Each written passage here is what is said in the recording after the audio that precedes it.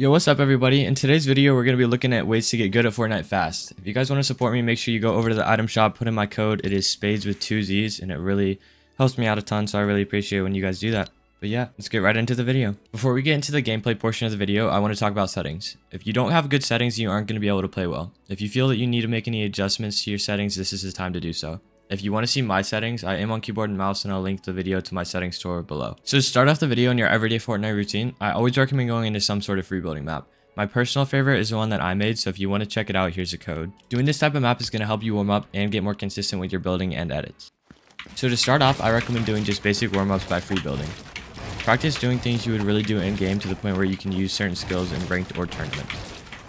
Another thing to focus on is if you feel like you're struggling with certain edits or builds, this is your time to practice that.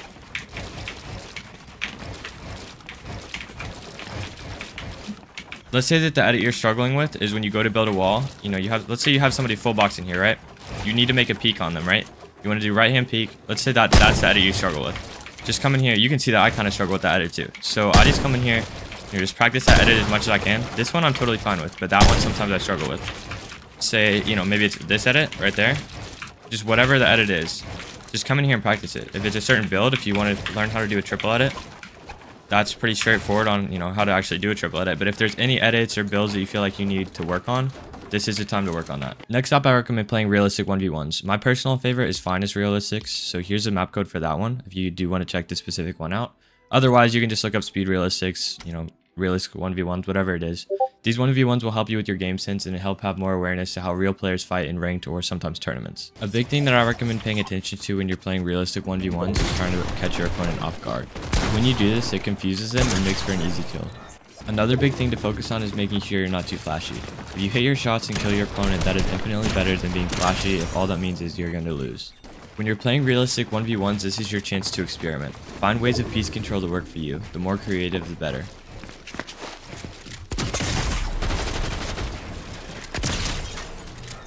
Here's just another example of how you can use piece control.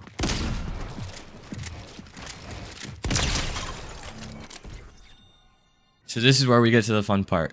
Ranked is the place where you really get to put your skills to the test. In Ranked, you'll find that most players will be a very similar skill level to you.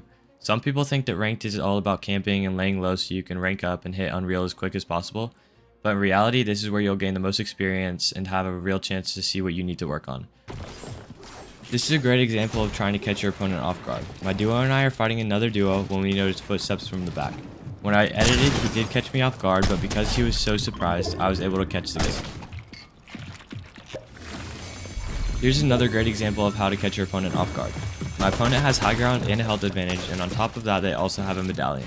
But by taking the cone they were standing on and dropping them down, I was able to catch them off guard enough to get the kill. In this situation, my teammate goes down early in the fight, but I'm able to take one opponent down. I just got a shot across the map. His teammate's right here. He's coming, he's coming. As a surviving half of the opposing duo finish my teammate, I catch him off guard again to fully box him and secure the kill.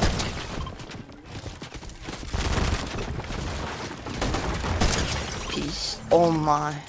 The best pros aren't scared to admit when they aren't doing good with a certain skill in Fortnite, so neither should you. Just keep that in mind while you're playing ranked. If the real reason you watch this video is so you can eventually get earnings on Fortnite, then you really need to take the few basic things that I talked to into account. Make sure you have good settings that work for you, make sure you always get warmed up, and most importantly, don't overwork yourself. If you do, that's never going to end up well. Fortnite tournaments aren't going anywhere, obviously. We have a whole bunch going on this season. So practice is eventually going to pay off. Just keep going at it and you guys will get, get there eventually. Tournament should be played very similarly to ranked. What this means is you should still be aiming to catch your opponents off guard, do as much damage as possible, as quick as possible, that way you can secure the kills. When you get a kill, that means you get more points, and obviously the more points, the better. In this situation, the opposing duo knocks my teammate, and because of this, it becomes a 1v1. Because my teammate was what? previously fighting them, I oh, know that they aren't going to be full health, so I rush yeah. as quick as possible. Because I caught them off guard, I was able to block them in and secure the kill. Yes. If you guys have any questions or concerns based on this video, please let me know. I enjoyed making this one, so if you want to see more, make sure to drop a like and hit that noti bell. Thanks for watching.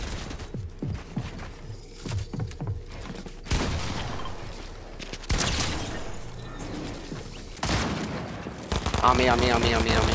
I'm stuck. I just got shot through the wall.